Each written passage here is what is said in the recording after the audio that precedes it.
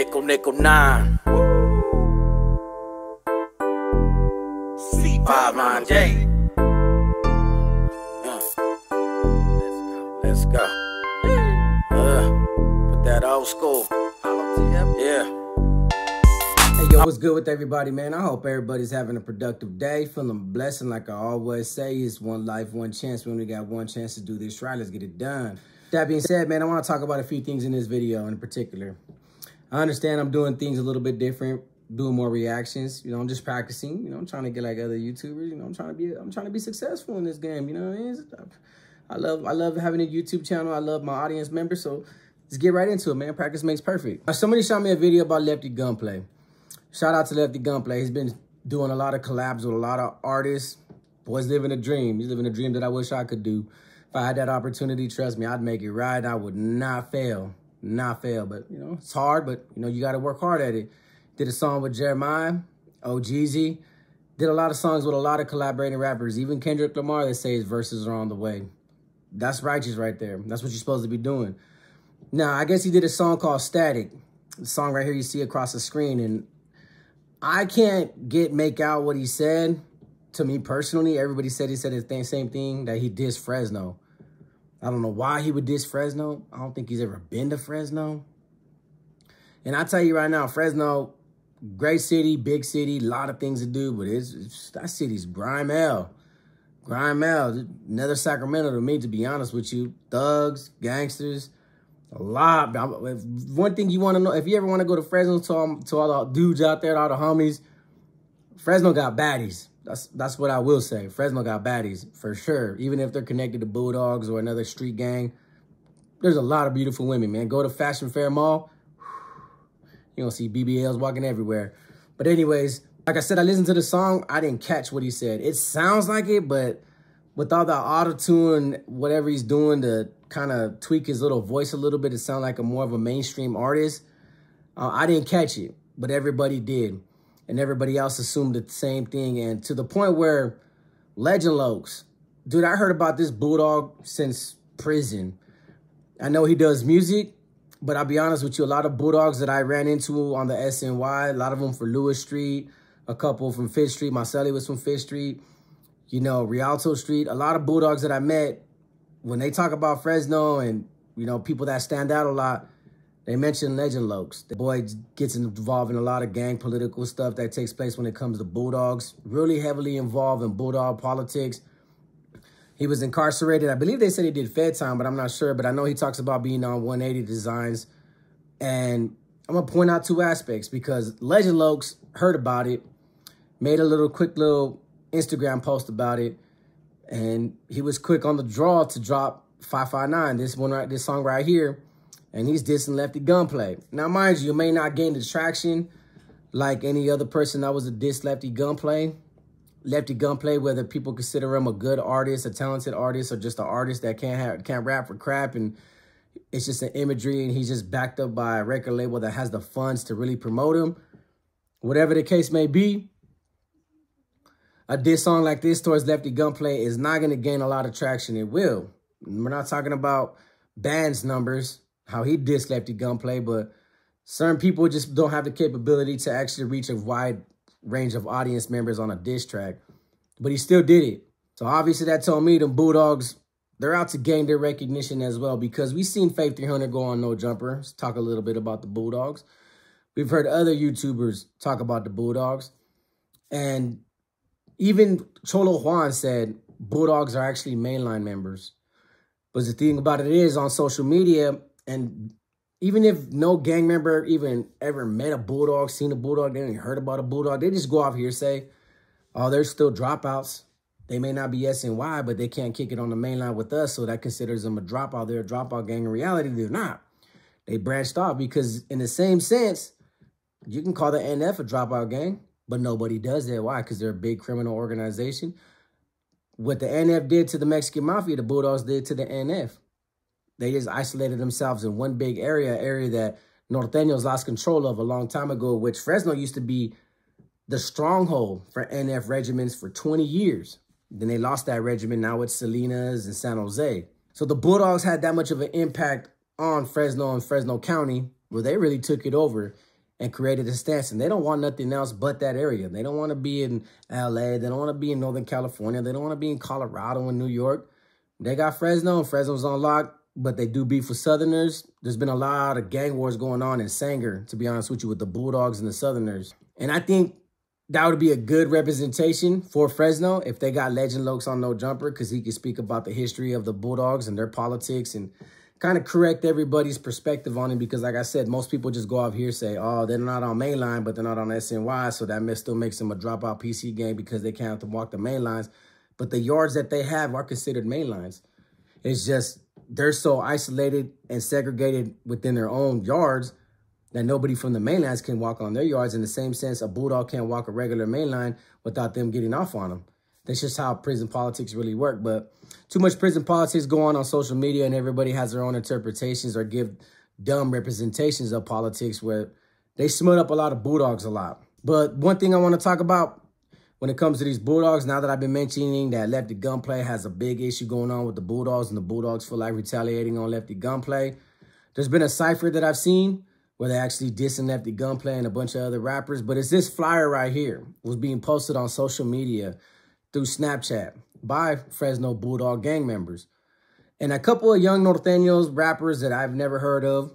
Doesn't mean anything. I don't mean anything wrong by that. Doesn't mean nothing. But I guess they were going to perform in Fresno.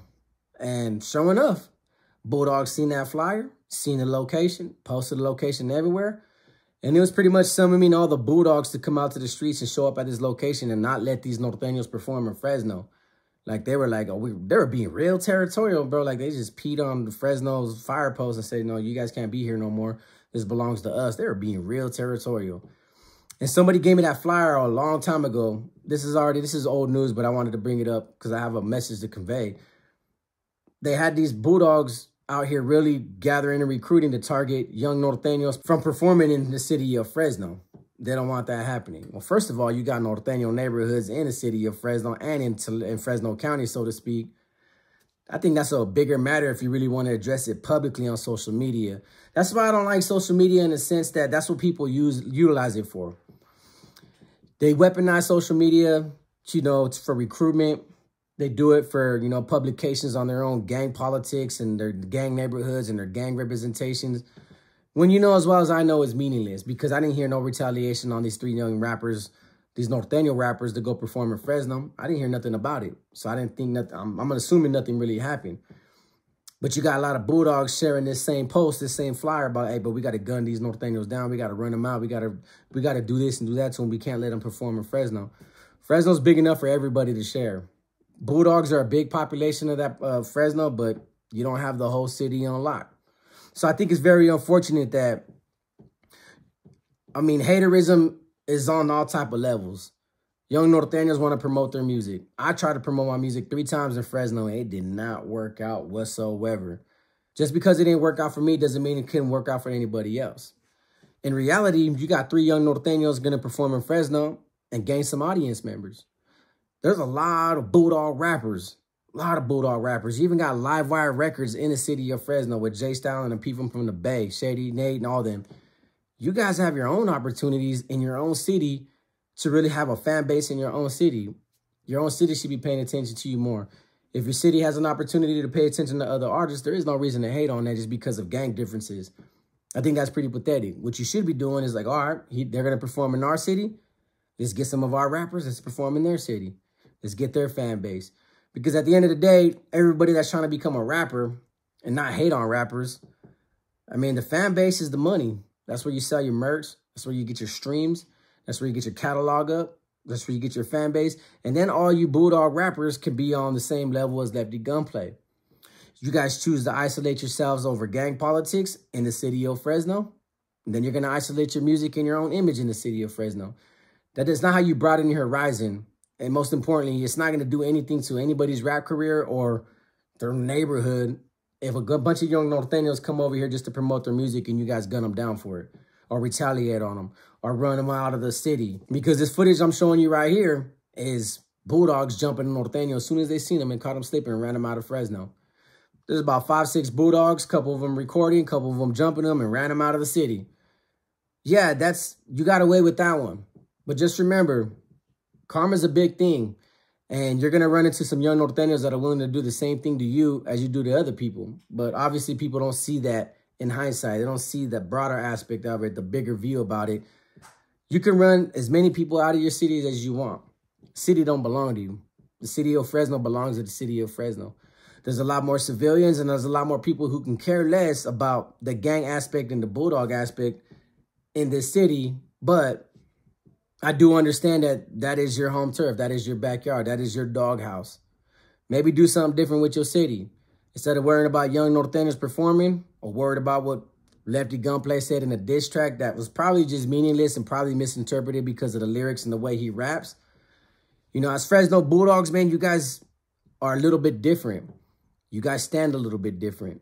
You guys stand on your own two feet. You guys can't get control of each other. You guys beef with each other so much that sometimes, you know, you guys' is even own yards kick it off on each other. You guys represent something a little bit different, a different sense of unity that people are still against, but a lot of gangs haven't done just yet. Do something with that unity. Take care of the city of Fresno because the city of Fresno is a beautiful city. Just run down, bro. There's a lot of ghetto areas run down. Poverty like crazy in that city. Take care of your city. Start with your city. Start with the Bulldog Nation and what you guys can do for each other and stop burying each other, barking at each other, hurting each other. That'd be a bigger thing to notice and a bigger thing to be proud of than, you know, I got some young homies running Norteño out. Let's post it on social media. Hey, some Norteños are going to come rap in our city. Let's gun them down, run them out the city so we can post it on social media. You guys got a lot of Fresno Bulldog rappers, and I'm pretty sure Fresno Bulldog gang members don't even support Fresno Bulldog rappers. You know, so it's very hypocritical, but Hey, shout outs to Legend Lokes. Like I said, I've been hearing about him for years in prison. Never met the dude in person. Don't really know too much about him. Never really paid attention on social media. I understand he's doing dropping a diss track on Lefty Gunplay. If it's successful, it's successful. But my main concern was throughout all this ordeal, there's been a lot of violence going on in Fresno that we haven't talked about yet. I haven't had a lot of time to be able to go over all the articles that I've been seeing lately. You know, there was a Fresno bowling alley shooting. Bulldog gang members killing somebody at a bowling alley that's something that needs to be discussed. But I think Body Hotels is going to talk about it. But what I seen and what I was really concerned about is that, I mean, regardless how Norteños feel about me, there was three young Norteño rappers that are just trying to do something with the career and just get it off the ground. And you can't even go perform at a regular nightclub. And most of the time you're performing just to perform in front of women, just to get a fan base. You know, the women are the ones that blow up the streams the most without having to worry about being gunned down or ran out by Bulldogs because Bulldogs feel like Fresno belongs to them and they're just hating on their success because of that. So I wanted to bring all that to you guys' attention. Thought it was a crazy video to talk about. You already know y'all can get the footage on Instagram as well. So with that being said, like I always say, is one life, one chance. We only got one chance to do this right. Let's get it done. Peace.